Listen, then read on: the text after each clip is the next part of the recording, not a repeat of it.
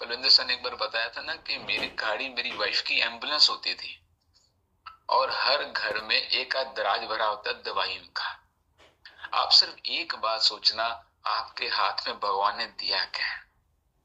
एक बात दोबारा सोच सोच रहा हूँ, बोल रहा हूँ मैं, ध्यान से सुनना। पारस सुना, पारस क्या होता है? किसी चीज़ को छुओ तो सोना बन जाए। मेरे घर में पारस है। उसने हम सब सबको छुआ। हम कितने सुंदर हो गए फिट हो गए और वेल्दी भी हो गए। है ना? तो छूना सबको। अब छूने के लिए ना दूसरा लोहा भी होना चाहिए। लोहा तो सोना बन जाएगा, गोबर नहीं बनता है। उसको जितना मर्ज़ी पारस से नहला दो, उसको कुछ नहीं होगा। तो आपका काम है टच करते रहो, जो जो लोहा होगा वो सोना बन जाएगा, जो गोबर होगा वो। अपना काम है लोगों को मैसेज देना कि ज़िंदगी बदलने का एक रास्ता है। आज साल का आखिरी दिन। असेस करना जो मैंने गोल्स रखे थे वो कहाँ तक पहुँचे? और अगर पहुँचे लास्ट तक तो क्या खासियत रही मेरी उस स्ट्रेंथ को और बढ़ाने के बारे में लिखना है? लिखना है। लिख के करना सारा कुछ।